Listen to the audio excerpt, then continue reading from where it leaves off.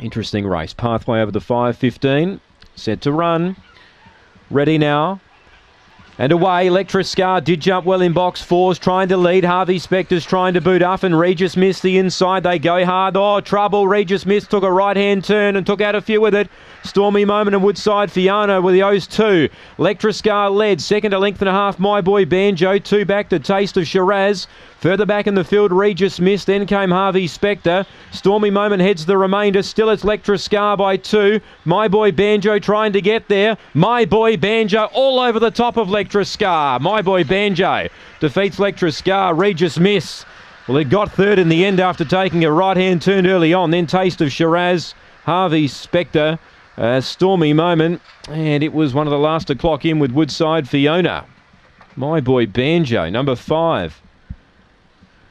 Walter Harkins, the uh, winning trainer. My boy Banjo. Um, form turnaround here. Missed all that trouble. Was beaten 20 lengths last start, so it's hard to have him. But um, that's what these pathway races are about. And uh, that trouble early on just enabled my boy Banjo to get the clear run. Electra Scar, the last little bit was going to be his concern. He just struggles to run out the 5.15. And he's been grabbed about five metres from the post by my boy Banjo, who wins its second career run for Walter Harkins. Four second Electra Scar.